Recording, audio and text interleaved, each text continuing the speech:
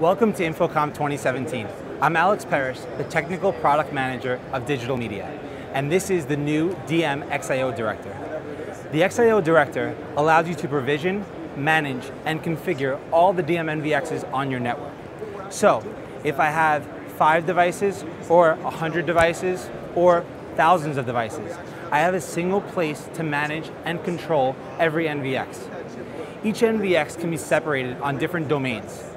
So if I have one room that has all the NVXs in it, I can then take that domain and manage only the NVXs that I want to associate with that room. And then create a new domain to start the second room. If the second room has another NVX that I want to add later on, I can always control that.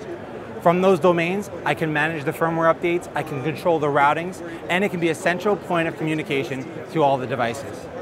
The models come in three different types. There's an 80, a 160, and an enterprise version.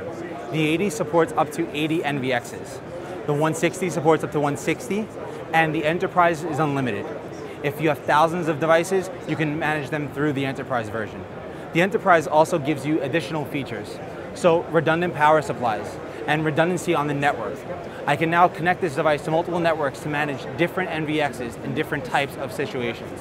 The DMXIO Director is the best way to manage and deploy NVXs at scale.